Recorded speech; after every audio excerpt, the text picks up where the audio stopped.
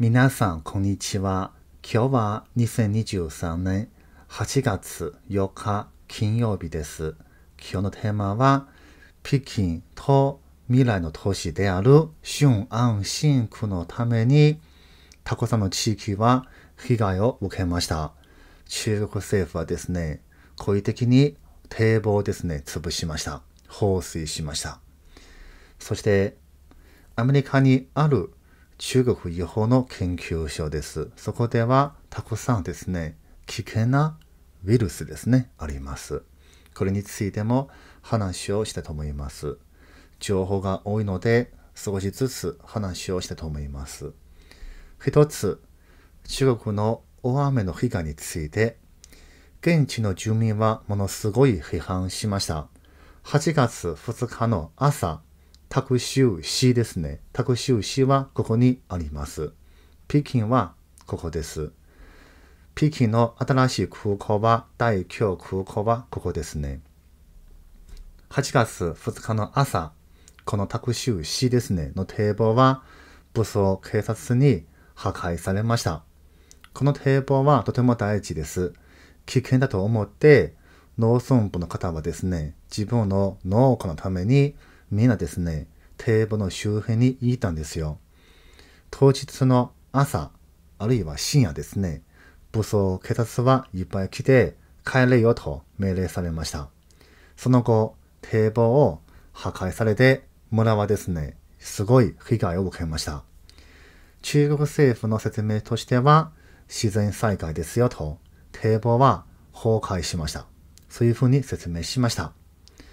現在ですね、春安新区はここです。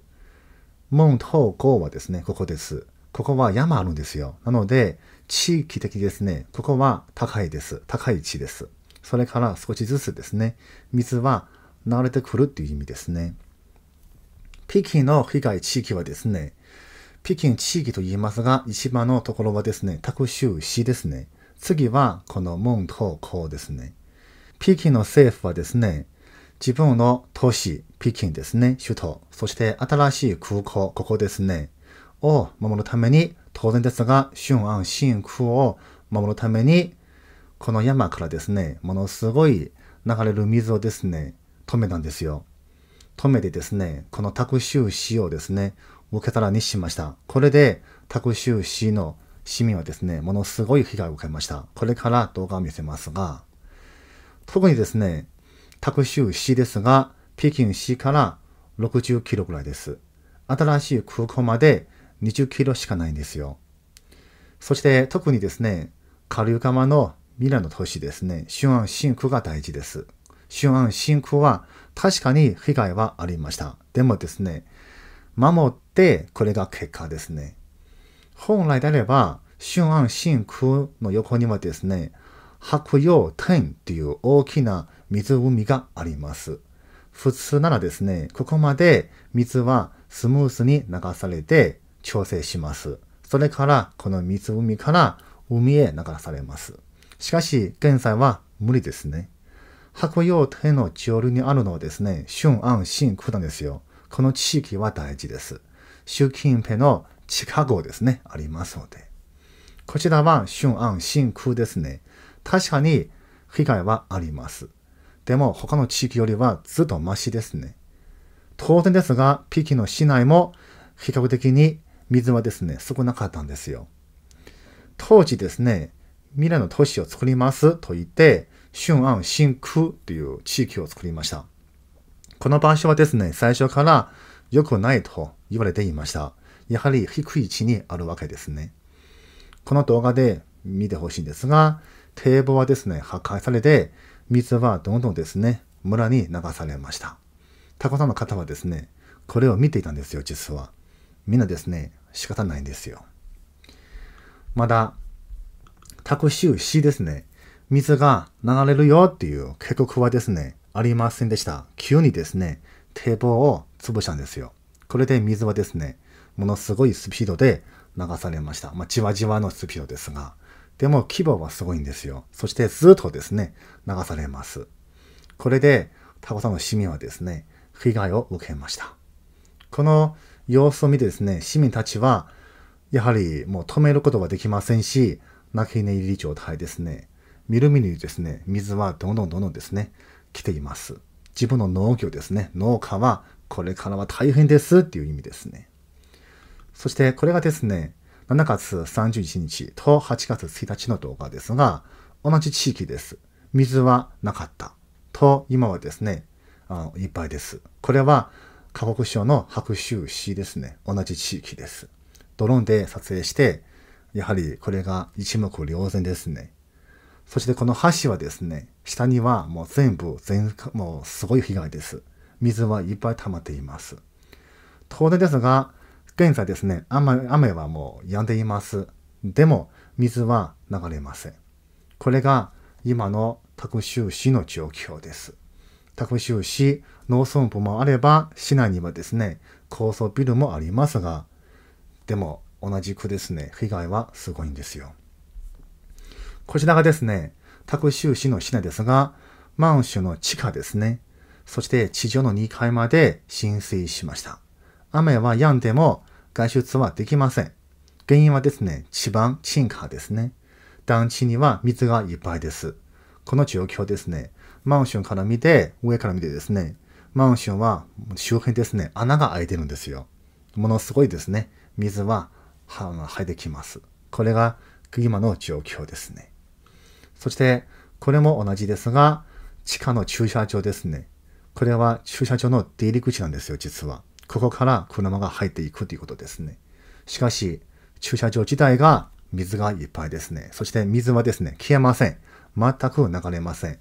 当然ですが、駐車場の外ですね、水もいっぱいです。この状況で、マンションの住民たちはですね、降りることもできません。買い物もできません。電気もあったりなかったりするんですよ。電波ですね、あったりなかったりするんですよ。ガス、水道はないんですね。そして一部の市民はですね、自動車で避難しようとしました。当時ですね。これで高い位置にある高速道路ですね。乗ったんですよ。しかし、高速道路自体がですね、ものすごい大変渋滞しました。原因はですね、お金ですね。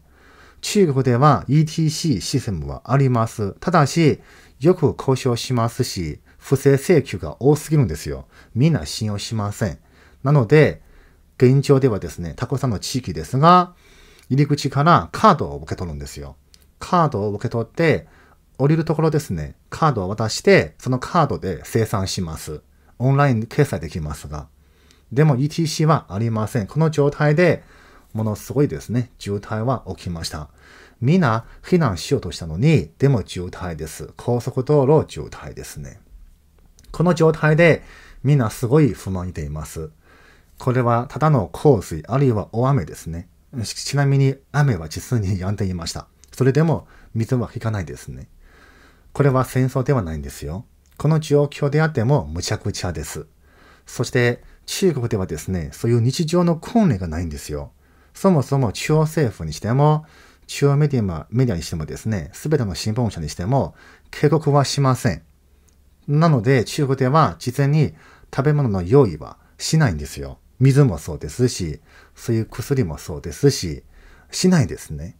確かにコロナの影響であったんですが、タコさんを準備しようという習慣ですね。少しはな、あったんですよ。でも、やはりまだ定着していません。これで外出できなくて、みんなですね、一瞬でお腹がペコペコとなります。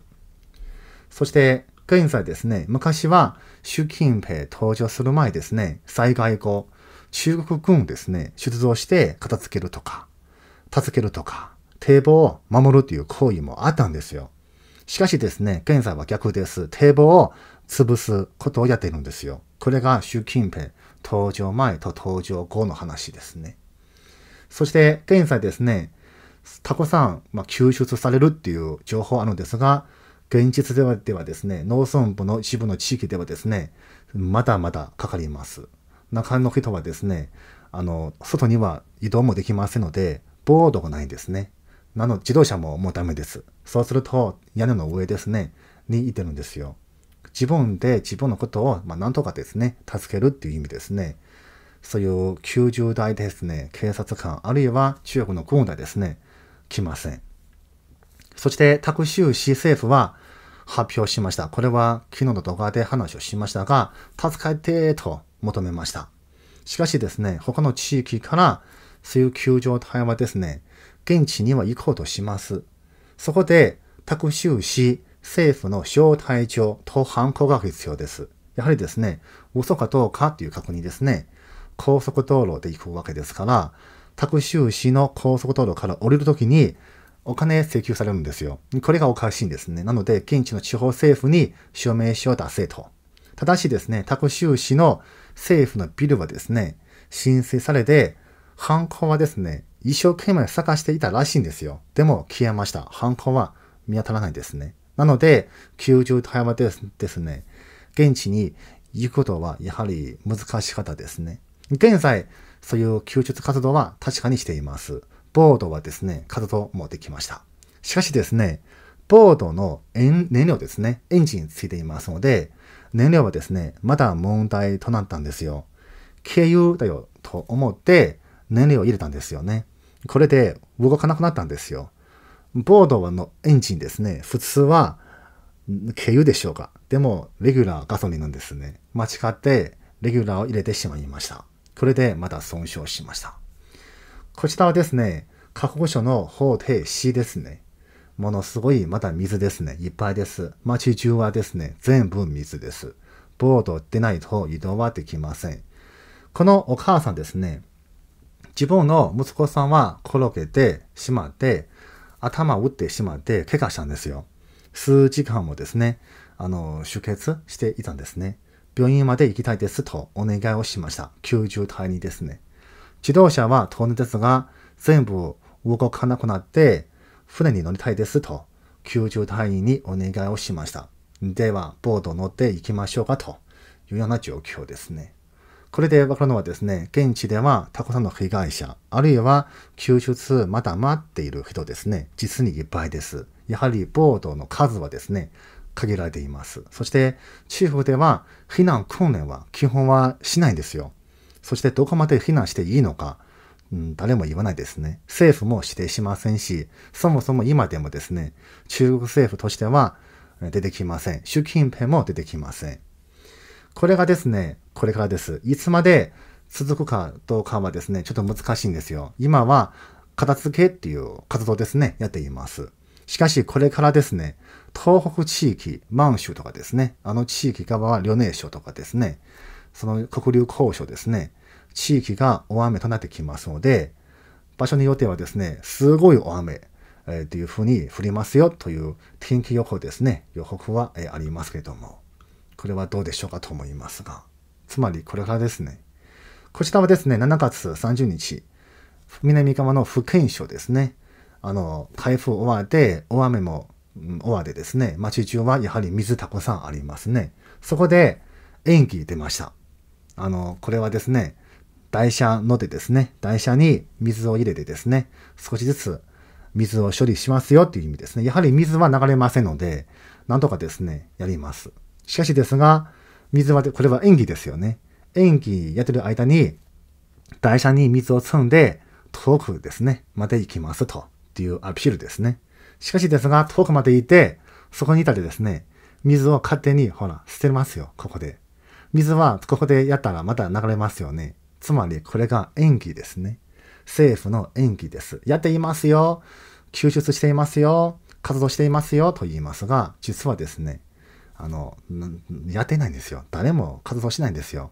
原因はですね、地方政府の官僚は出てこないからです。町中はですね、どなっても出てこないからです。次ですに、中国の半導体産業は崩壊です。中国の税関の情報ですが、今年ですね、半導体の輸入状況についての情報です。今年前半ですね、半導体輸入の量、額ではありません。金額ではありません。量ですね。同期比22%減少しました。半導体装置として半導体現在の輸入の量ですね。同期比23%減少です。去年から引き続き輸入の量はですね、減少しています。これでわかるのはですね、去年10月からアメリカの半導体制裁ですね、やはり効果は出ています。中国の製造業、特にマウスとかですね、パソコンのキーボードとかですね、あるいは今の扇風機でとかですね、あのスパ、スマート式扇風機とかですね、そういうのはやはり半導体使いますので、こういった製造業はですね、ものすごいショックを受けています。今年前半ですね、台湾から半導体輸入の量はですね、40%も下落しました。韓国から33%下落しました。アメリカの制裁はですね、最先端の半導体を対象にしていて、例えば人工知能、スーパーコンピューター、武器とかですね、何などに、そういう危険なものに使われる半導体がメインですね。その後、オランダ、日本も制裁、あるいは輸出規制を出しました。これで中国の会社はですね、かなりショックを受けました。半導体がないと、高性能の電化製品、機械設備の製造もですね、できなくなってしまうんですよ。これがですね、また次の動画で話をします。実はですね、すごい影響出ます。次です。3。フォックスコーンですね。iPhone の工場。台湾のフォックスコーン本杯ですね。同じ会社なんですよ。インドでの投資ですね。引き続き拡大しますよと発表しました。これからインドで3つ、新しい3つの工場を作ります。電子部品のものですね。作る工場もあります。iPhone の部品を生産します。また、Apple のイヤホンですね。AirPods の組み立ての工場も増産ですと。現在、インドにはですね、フォックスコーン工場一つはあります。そこで iPhone14 ですね、生産はしています。これからかなり拡張しますよという姿勢を出しました。2024年増産して、従業員をですね、10万人規模にしますよと発表しました。フォックスコーンという会社はですね、Apple の製品の代理生産をやっています。中国の亭主にある工場ですが、あそこは世界において最大の iPhone 工場ですね。たくさん iPhone をそこで生産しています。従業員の数は20万人以上ですね。これからインドでたくさん工場を作りますし、そして工場の規模ですね、従業員の数はどんどんですね、中国を超えていくんですよ。これから中国での生産ですね、減らしていくっていうのは間違いないんですよ。そうすると、中国の失業者はさらに増えるっていう意味ですね。特に青年たち、若い子たちがメインですが。次です。3、アメリカのカリフォルニア州にある倉庫ですね、中国人は借りました。しかし、その倉庫で違法の研究、また実験をしていますよと、アメリカの警察はこの情報を発表しました。関係者数にですね、身柄確保をしました。この倉庫と言いますが、研究所と言えるでしょうか。20種類以上のウイルスというものをですね、保管しています。今のコロナだけではなくて、エースとかですね、肝炎とかですね。これは肝炎ウイルスというのは普通のウイルスではありません。肝臓がんになるウイルスですね。そして、マラリアウイルスですね。シートウイルスですね。なんだとそういうものを保管されています。この倉庫はですね、2022年、中国の会社が借りました。その会社の代表はですね、楊さんです。中国政府と関係あると言われていますが、倉庫にはですね、医療設備ありますし、研究設備もあります。また、1000匹以上のマウスですね、います。また、血液とかですね、人間の体の組織とかですね、体液とかですね、などもありますと。また、数千点ですね、不明の瓶にはどんなもの入っているか分かりならないものもあるんですよ。ここで生物科学の研究をしていたでしょうと言われています。そういった規模はですね、研究設備、研究規模、実験設備ですね、装置ですね。やはりすごいお金はかかるはずなんですよ。政府がですね、支援しなければ難しいんですよ。なので、中国政府にやはり関係あるでしょうかと言われています。そして、非常に危険なのはですね、マウスですよね。中国の武漢研究所も同じですが、そこにはですね、たくさんの動物ですね、飼っていました。まあ、研究用ですね。実験用ですが。そこで、実験してですね、また売るんですよ、実は。お肉として売るんですよ。それもやっていましたね。当然ですが、今回はマウスがメインですね。マウスはやはりもし管理ずさんでしたら逃げてしまうんですよね。これで大変ではないかというふうに思います。こんなものやる方がおかしいんですよ。と思いますが。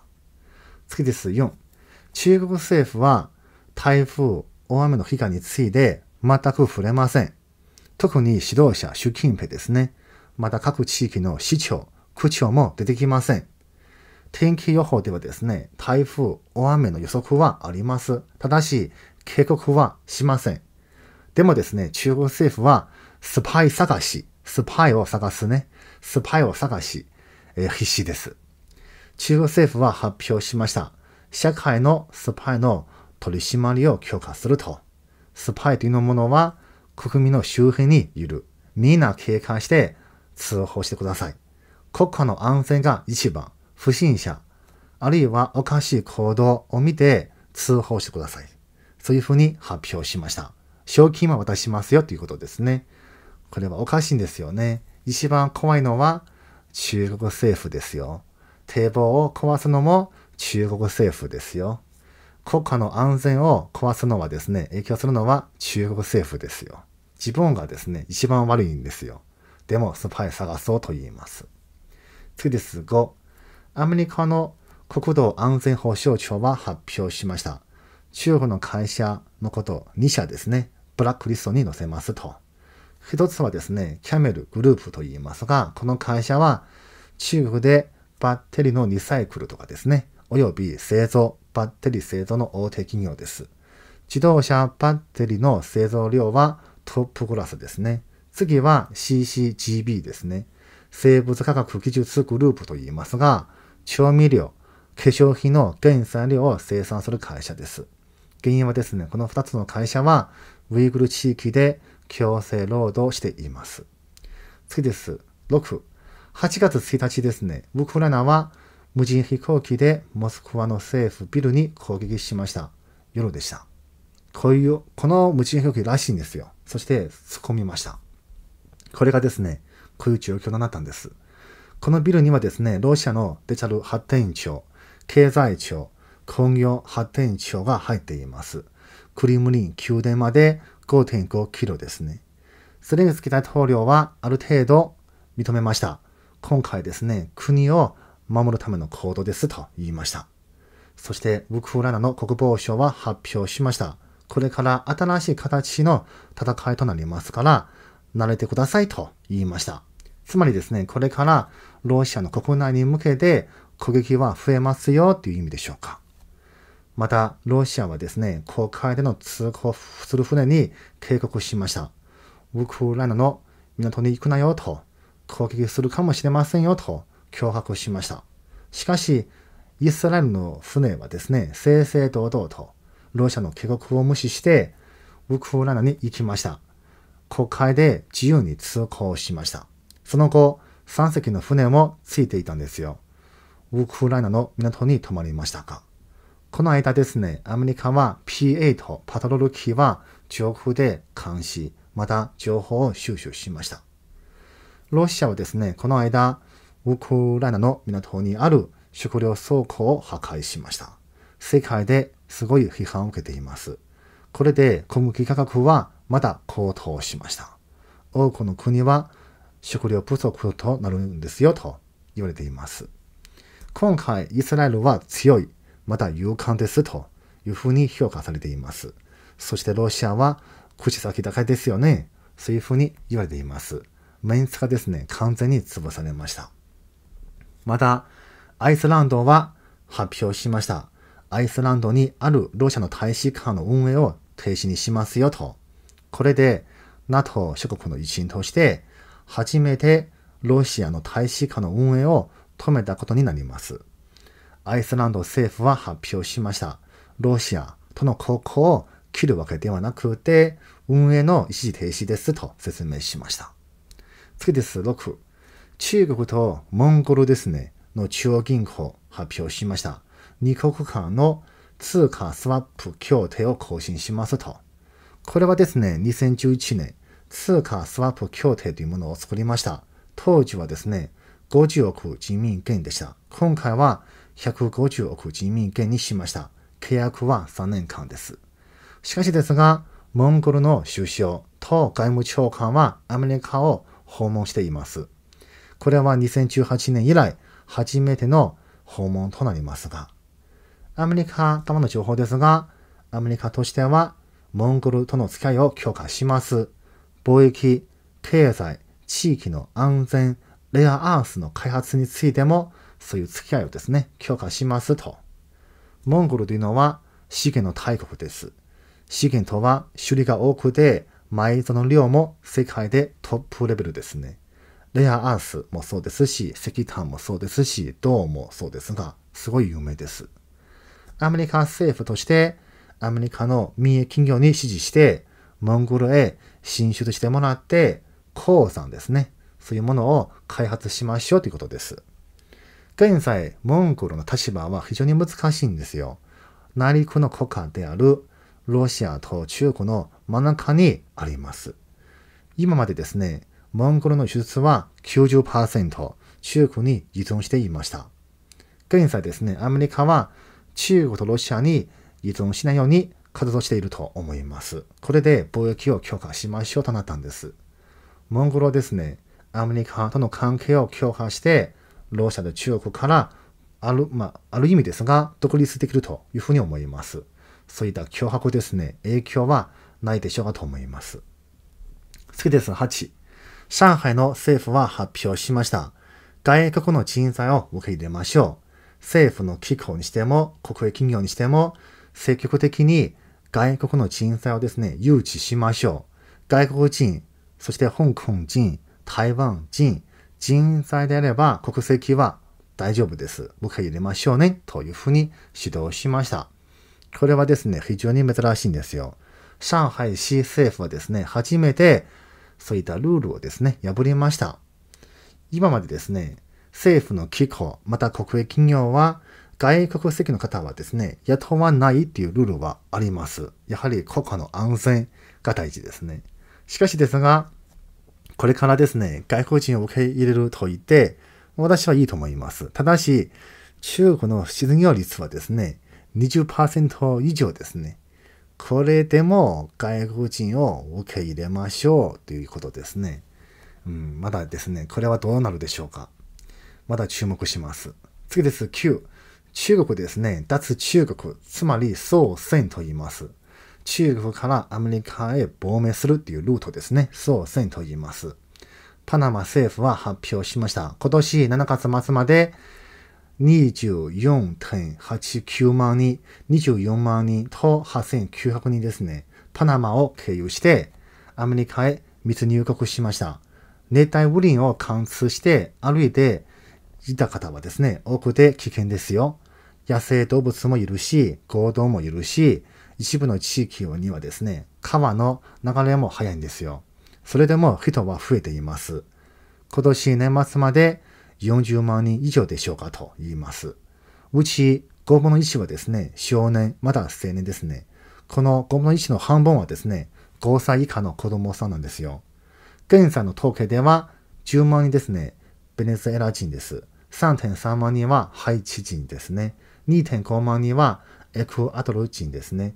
中国人は現時点では8400人でしょう。というふうに発表されています。この情報ですね、見て、中国はですね、3年前、4年前ですね、コロナの前ですが、みんなですね、世界旅行しました。お金持って世界旅しました。アメリカにも行きます。そういうツアーもあるんですよね。しかしですが、現在は亡命ですね、となりました。これが今の中国の現実ですよ。わずかコロナですね、この3年間、あるいは4年間くらいですね。すごい変化しています。中国の社会、また経済の状況もそうですが。これはですね、中国の経済に関係あると思います。中国にいてもですね、チャンスはもうないよね、と思う人はですね、すごい多いんですよ。やはり仕事がないんですね。これから増えるでしょうかというふうに思います。この動画はここまでしたと思います。最後、いいねボタンをお願いいたします。ありがとうございました。